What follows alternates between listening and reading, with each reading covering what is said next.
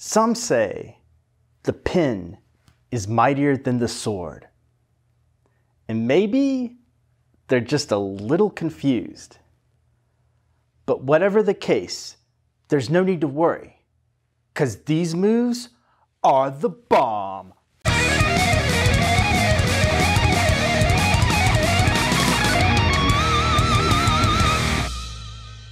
Hi, I'm National Master James Richardson, and welcome to my second video on the fork-trick variation of the Italian Four Knights. In this video, we'll be looking at 6 Bishop b5, a more aggressive variation, pinning our knight on c6. The theme of this lesson will be counterattack through active defense. Throughout the video, I'll be posing problems to you to help motivate the theory along the way. I strongly encourage you to pause the video and think about the solution for yourself at those points. Not only will this be a good training exercise, but also it will help you to incorporate the solutions into your own thought process. Remember that the purpose of training is to help you better make decisions over the board yourself. Many times, your opponents will deviate from the main lines and then you'll be on your own. You'll need to weigh multiple options against each other and justify them through concrete variations. General principles will not be enough. This process of analysis can be hard work, but ultimately through practice, it can be very rewarding and raise the level of your game. This was a very fun variation to analyze, and it was very tactical. I decided to handle it a little differently from my first video, and I include multiple options along the way. This builds a progression that I think puts you in a better position to understand the final solution I give at the very end. I hope that this will give you a better appreciation of the wealth of tactical possibilities at Black's disposal in this line. So let's get to work and prepare our counterattack. Let's go.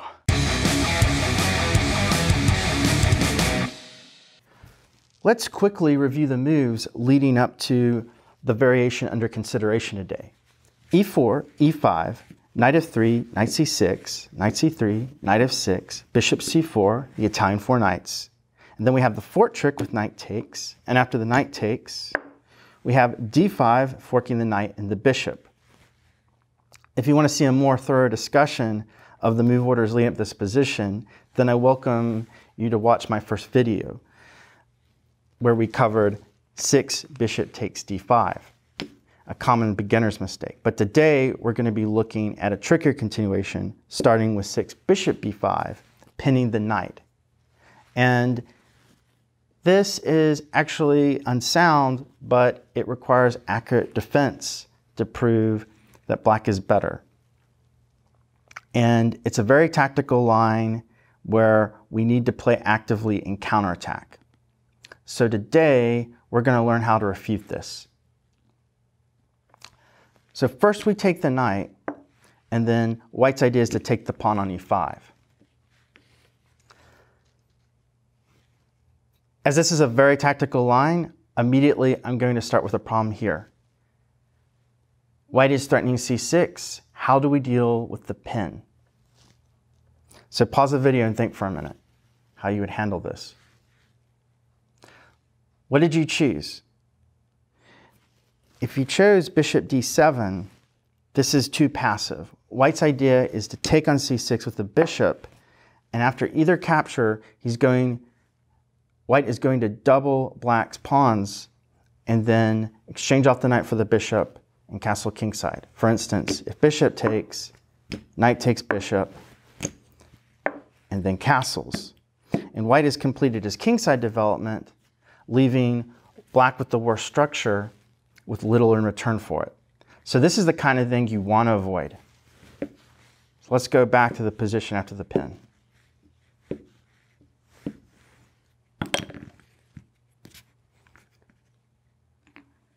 Black has two good moves here. And both of them are with queen. The first one we're going to cover is queen to d5. And our main line will be queen to g5, which is the most ambitious continuation. So let's start with queen d5. This is a good solid move that's very respectable. It was once played by the second world champion Emanuel Lasker. And if you have difficulty remembering the complex variations after queen g5, this is a good simple way to handle this and even play for an advantage. So the queen defends the knight, but it also forks the knight and the bishop. And white has to make a choice here. So there are two moves we'll consider. One is knight takes knight, and here, instead of taking the knight, take the bishop. And now white only has one square to retreat. And here our idea here is we're going to swing to g5, attack g2, exploiting the absence of the light squared bishop. And there's not really a good way to defend this. If white castles, well then we have bishop to h3 threatening mate, and the pawn on e4 covers f3, so the queen's unable to defend. And here, white's only move is to protect with g3, but then we win the exchange. So that's bad for white. Also, if white plays g3, we can also come in with g3, preventing castling, leaving white in a very awkward position.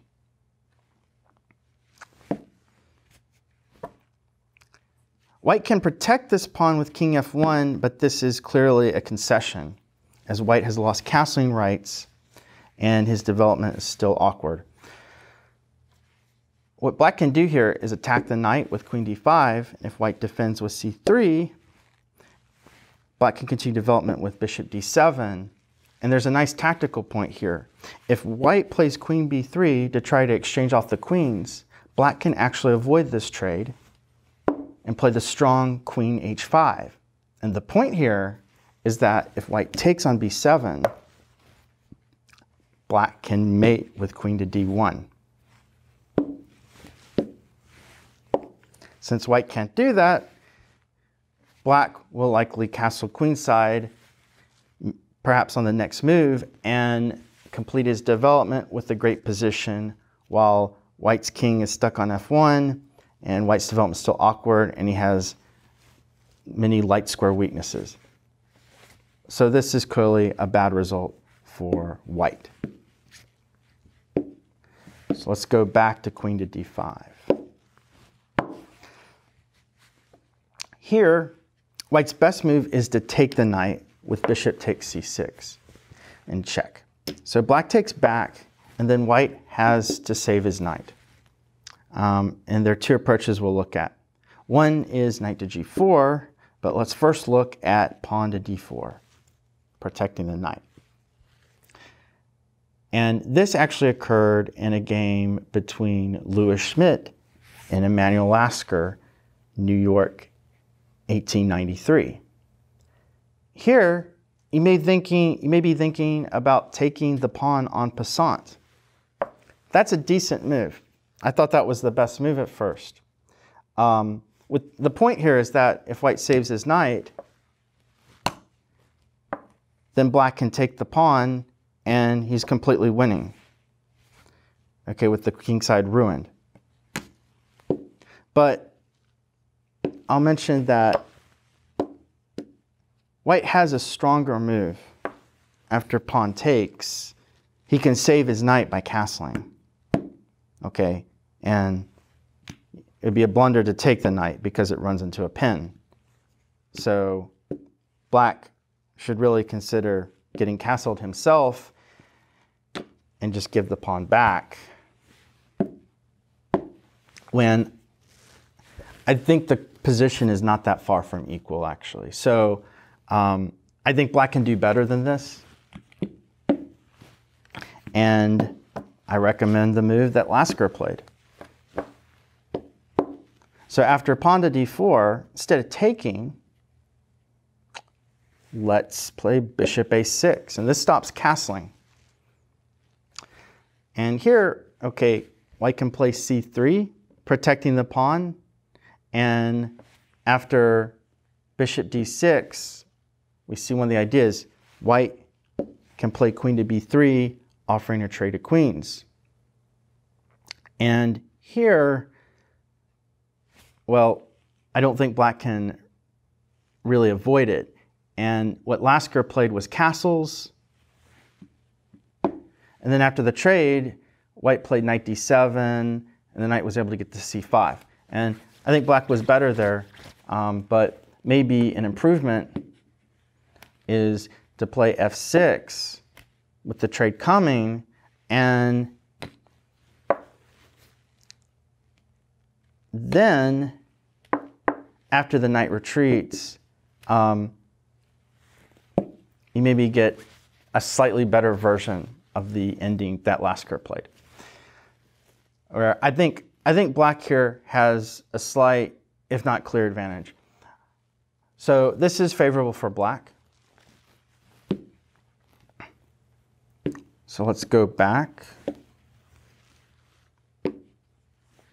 Let's see.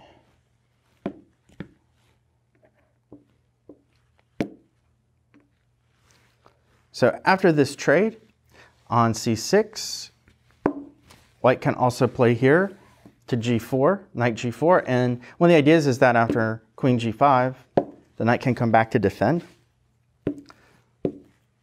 Um, so I recommend queen to e6, keeping the queen more centralized, attacking the knight with the battery of the bishop and the queen. And after the knight retreats, we can continue developing with bishop d6. Um, but another good approach that immediately presses white is to play f5. And White has to take this move very seriously because if he just castles here, for instance, complete, trying to complete his development, then he loses to f4. And if you look, the knight is trapped. Can't go to g4 or c4. And he's just kind of stuck.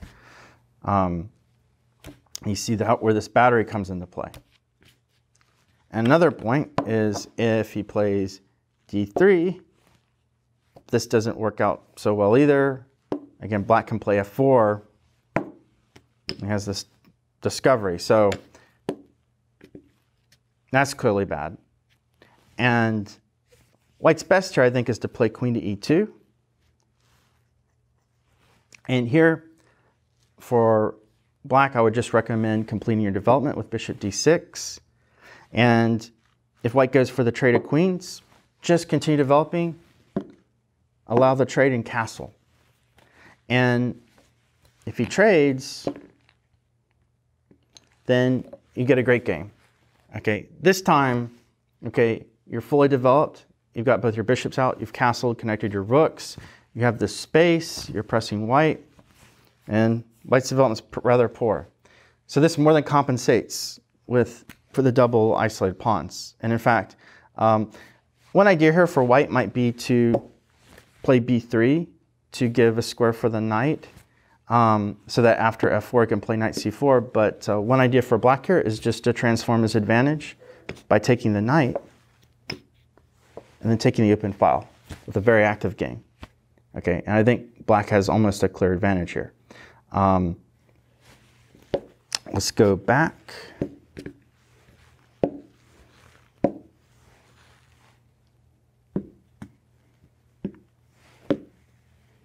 So um,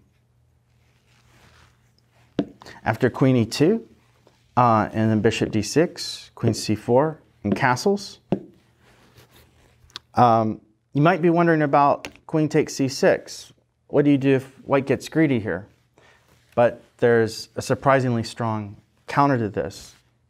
Uh, black doesn't have to directly defend the rook. He can simply play f4. And white falls under a tremendous attack. Um, taking the rook just makes things worse because after, the, after white takes the rook, we take on e3, and everything's pointed towards the king. And either capture this pawn is going to be bad. If he takes with the f pawn, queen come to f5, and the queen's ready to come into f2, okay? And the rook can't come to f1, okay? And if white takes with the other pawn, well, then we can claim this diagonal with bishop a6 and attack the queen by discovery. And, uh, excuse me, the queen was on e6. And after, if white tries to defend against queen c4 to mate the king, then black has a discovery with bishop b4 check winning the queen. So this is clearly a disaster.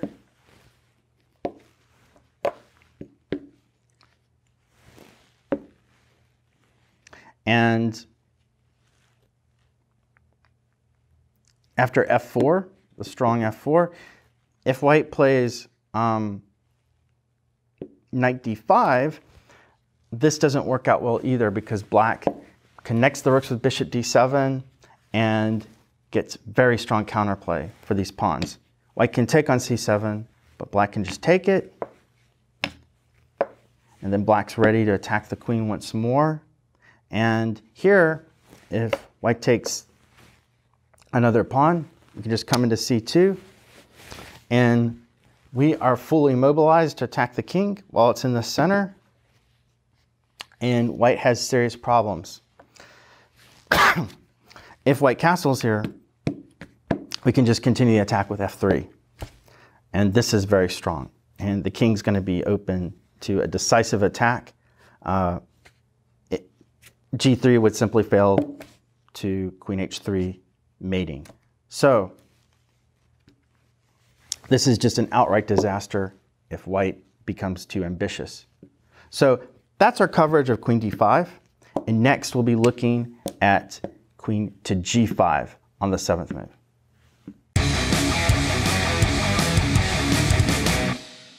Now we'll look at the more ambitious move, queen to g5.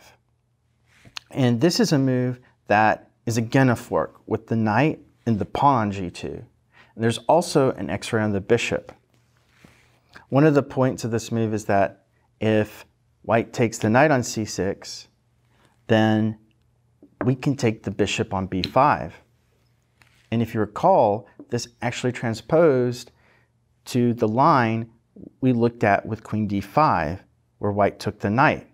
And recall that the only retreat, square is knight d4, and then we play queen g5 as we looked at earlier. So here, the best move for white is d4, protecting the knight and discovering attack on the queen. So here, we can't take this en passant for sure, because our queen's under attack. We need to take on g2. And we ruin white's king side. And white needs to save his rook with rook to f1. So here will be our second problem. How do we handle the pin now? So pause the video and think about what you would do here as black. Okay, so what did you choose? I hope you didn't choose bishop d7. This is just a blunder. Um, remember, we need to counterattack actively here. And this just fails to knight x d7.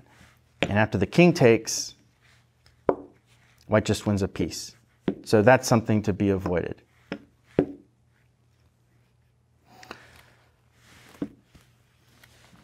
Here, we'll look at three moves that I think are decent.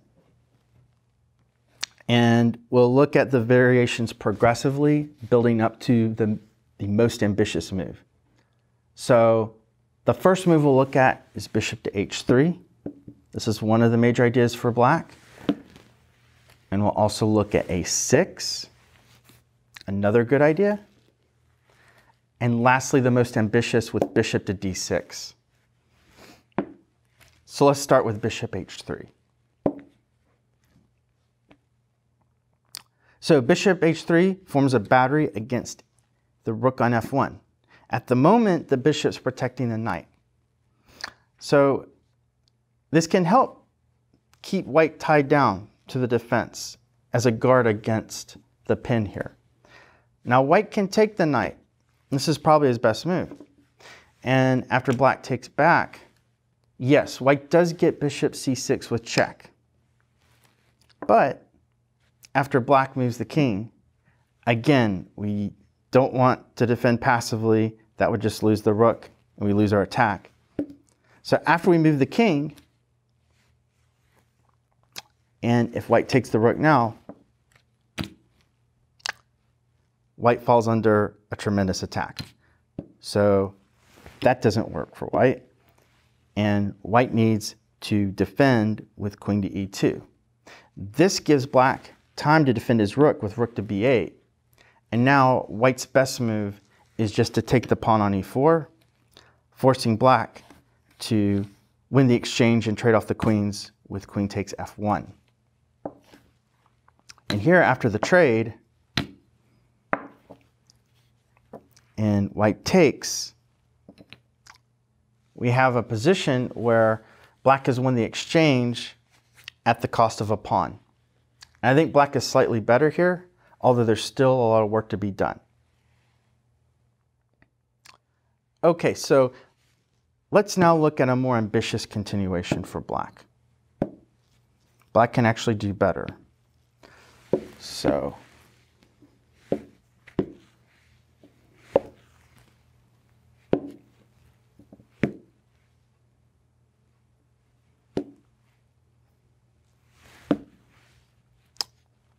All right, so here, after rook f1, the other move to consider is a6. And this is a more ambitious continuation. The idea here is, or one of the ideas, is that if white moves off the diagonal with bishop a4, now bishop to h3 becomes stronger. And white needs to defend now with the queen on e2.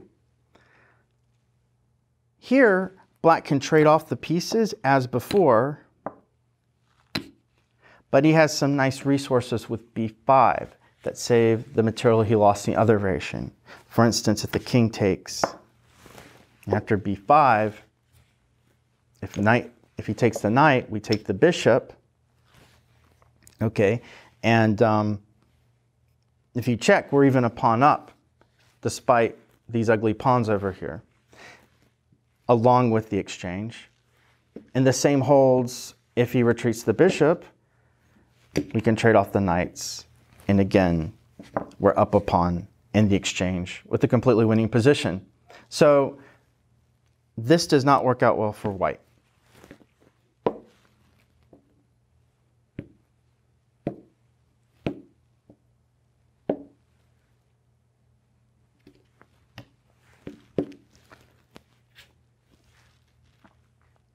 A better move for black to try here after a6 is to take on c6 with check. And after black takes, white's best move here is to play queen to h5. And white is threatening a mate in two. He's threatening queen takes f7, followed by knight takes c6 with mate. Black has two good possibilities here, in fact. The most obvious is to play g6, guarding against the mate and attacking the queen. And white's idea here to defend is queen to g5, forcing a trade of queens. Here black can take, and after the trade, black should just develop, cover his weakness, and white can take on c6, but Although material is equal, black is the bishop pair, and this is definitely an advantage. Uh, a sample continuation here is bishop d7, chasing the knight. If the knight go back, goes back to b4, um, we just need to be a little careful here about taking this pawn because then white can castle queenside and play knight d5 with some counterplay. Uh, a better continuation is simply just to play bishop e6, covering d5, um, preparing our development. And if he defends the pawn, we can chase the knight back now and connect our rooks with king to d7. I think we have almost a clear advantage here because um, we have the bishop pair and we have very nice development. Uh, we're, we're ready to attack on the semi-open b file with one of the rooks. And another thing to observe is that white has a lot of light square bishops, so I think black is in an excellent position to play for a win here. So that's a good safe continuation to get the advantage. Now let's look at a different possibility going back. Okay. So let's quickly go back to the position after a6.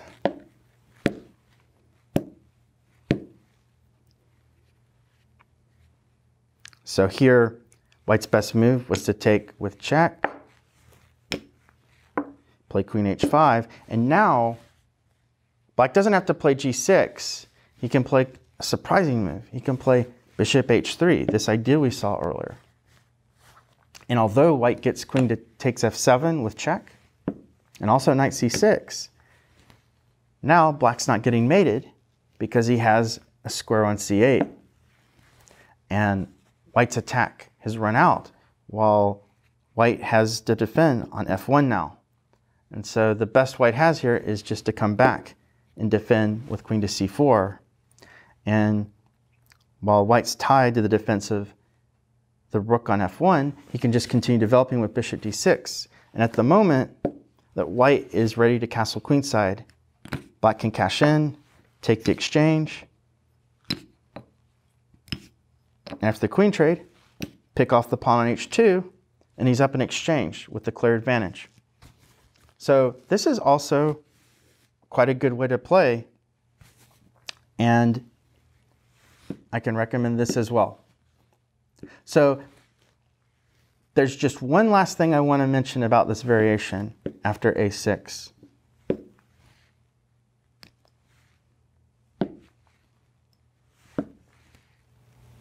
Let's see. Here, here.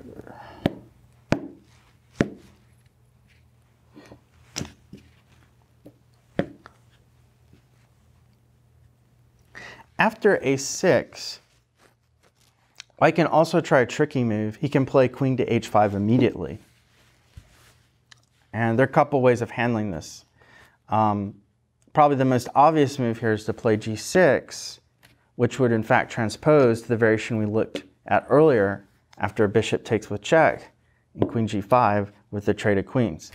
And we saw that was advantageous to black, but uh, black can even play more ambitiously for the win and just call white's bluff and take the bishop on b5, allowing queen takes f7.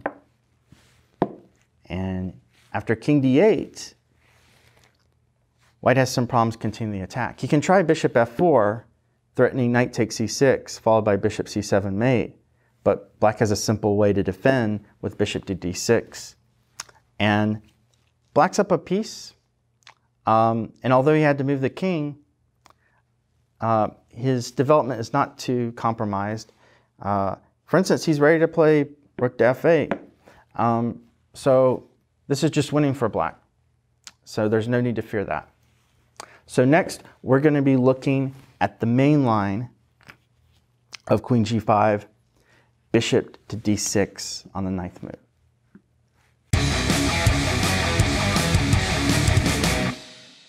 Let's quickly review the moves leading up to our main line. e4, e5, knight f3, knight c6. So the Italian four knights, the fork trick, and then the pin, we take. And after taking, we have the ambitious queen to g5. In Victor Bologan's book, Bologan's Black Weapons, he calls this Dixon's counterattack and white defends with d4, and black takes after the rook moves. We're going to look at 9 bishop to d6 now. So we saw bishop h3 and a6, and this is the most ambitious move and will be our main line. After white takes on c6, we have another problem. So this will be our third problem. How does black handle the situation now? So pause the video and think where you'd move as black. what did you choose? I think there are two good moves here. One is a6, and the other is bishop d7. Bishop d7 is my main recommendation, and we'll be following a line recommended by Bologan. But I wanted to show some ideas with a6. This also came up earlier in a different form. Um, so a6 attacks the bishop, and white's best is to retreat. Knight a7 check doesn't work so well because although white will get the light square bishop, black is ready to castle kingside. And if white's too greedy, say a move like queen takes b5, then black can just open the center. And white has serious problems now. So this is a failure for white.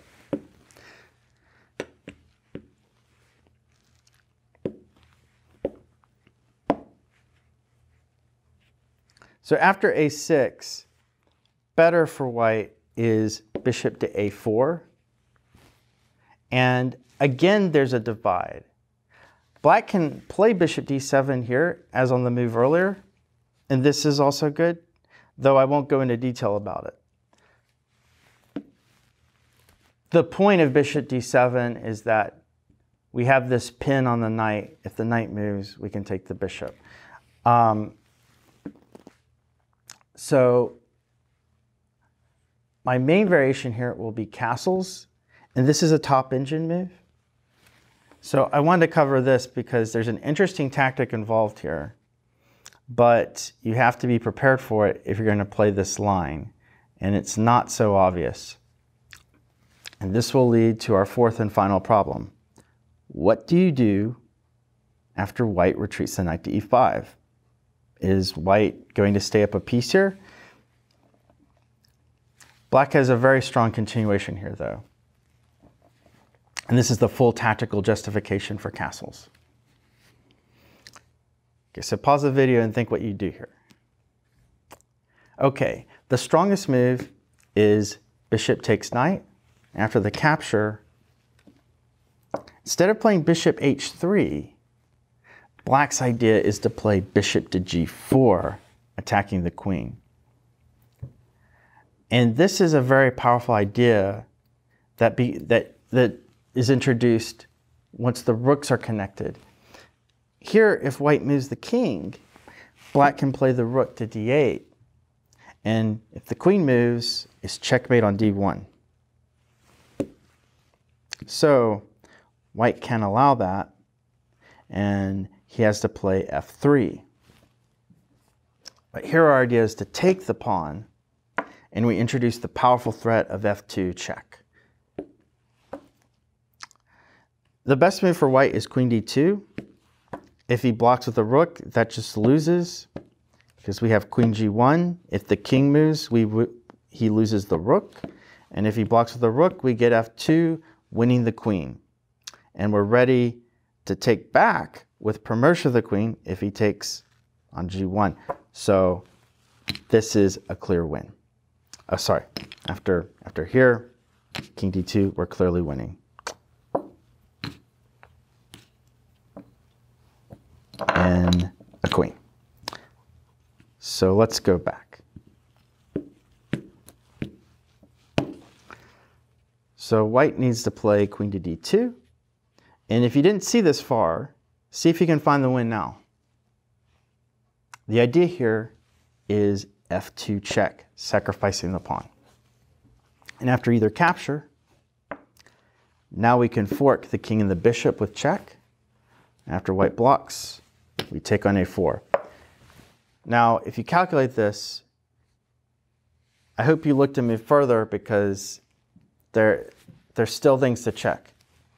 There's rook f4, forking the queen and bishop, but black can save himself queen to d7. And this may look completely winning at first sight, but white still has some defensive resources. Um, yes, white's king's in the center and black's up a clear pawn, but white can force the trade of queens with queen d4. So we can trade. And I think a good approach for black here is to play h5 and be ready to take um, the d file um, with an excellent game. Although this is bishops of opposite color, because the rooks are still on the board, I think um, black has good opportunities to play for a win here. Uh, since with the rooks on, bishops of opposite color can become sharper in favor the attacker, the side with the initiative. So this is a good approach, but let's go to our main line now with bishop to d7. So we have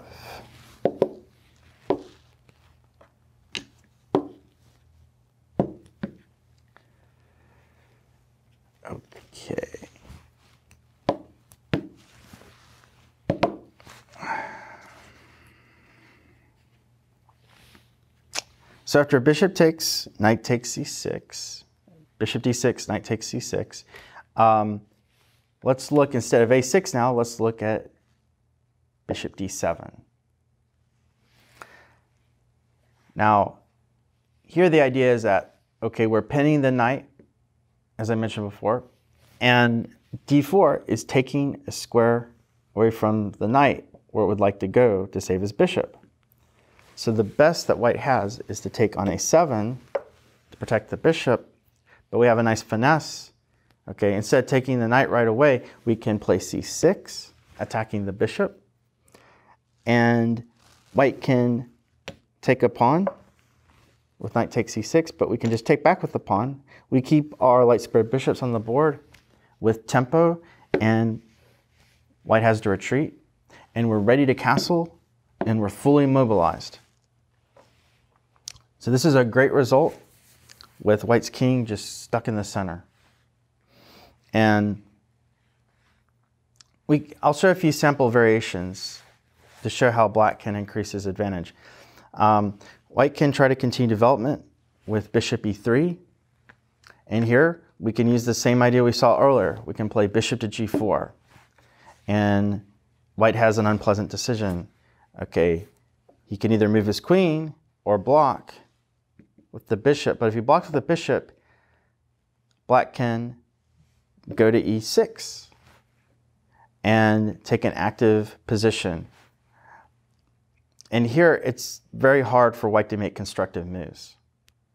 Uh, just to show you how things could go wrong. If white tries to play a move like c4, black can uh, start his attack with f5, um, threatening f4. And if white tries to block it, he's opening himself up even more, and black can just take en passant. If white takes with the bishop, well then Black can even shift over the queen side with the weakness that c4 created. And white's just completely lost here. So that gives black an active stance.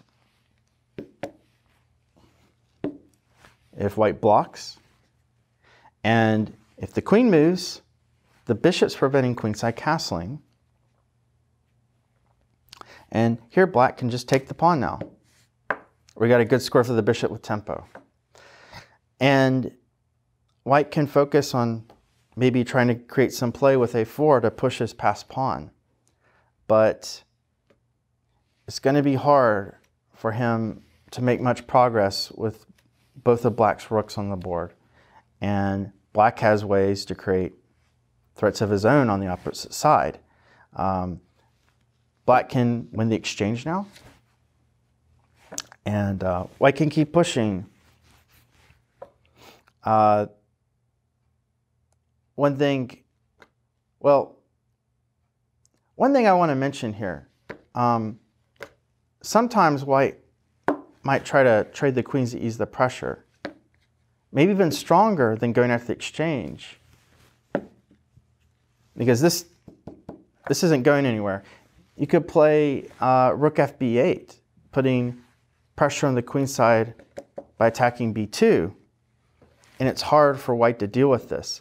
Um, for instance, if, if white blocks with the bishop, instead of going for the, the rook right away, we can keep him bottled up and play bishop to f3.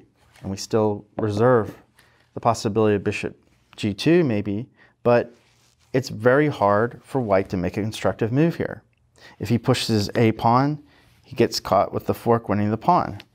Um, he can't move his c pawn, of course, because the bishop. Um, he can't castle queenside. Um, he can't even make room for his queen, for his king, uh, to connect his rooks because this just caught, gets caught in a pin. So, um, and trying to break in the center doesn't work out well either because after he takes, black can easily defend. And now there's an open d file. And white is poorly coordinated. And this will work in black's favor. It's not too difficult for him to get a rook on the d file and um, maybe even use this bishop as well. Note that it's protected. So this is a, a very bad result for white. Um,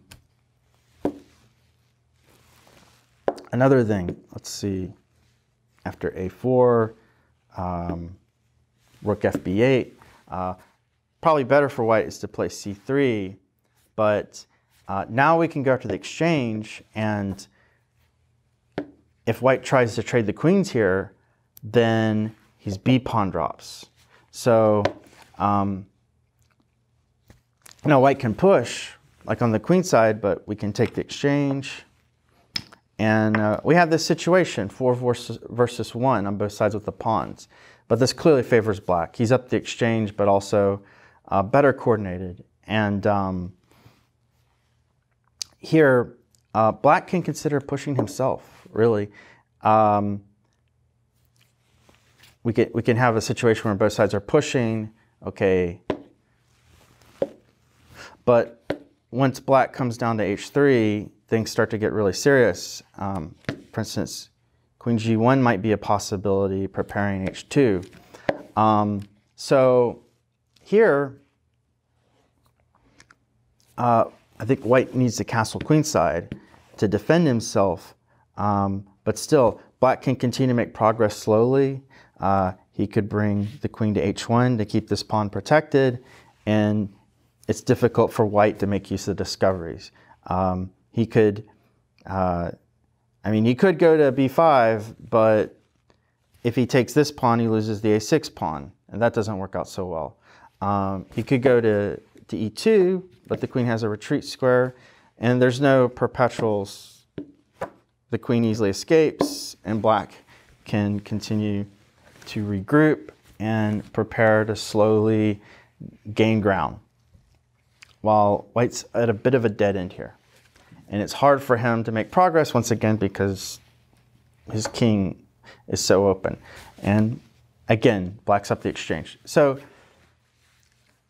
black is winning. And one of the things I like about this variation, and the reason it's my main variation, is white doesn't have a good out to simplify things. And it's hard for him to make constructive moves while black gets the initiative deep in the middle game. And one wrong step and white is just completely lost. So I think this is a total bust of the variation and I highly recommend it. And I think it's the ideas are fairly simple once you get the, the sense of the tempo moves, that finesse with C6. Uh, the moves are very natural. Um, so that's the end of our coverage of the pin variation with 6 bishop b5. And next we'll be looking at the main line with 6 bishop d3. And there are going to be some exciting tactics there.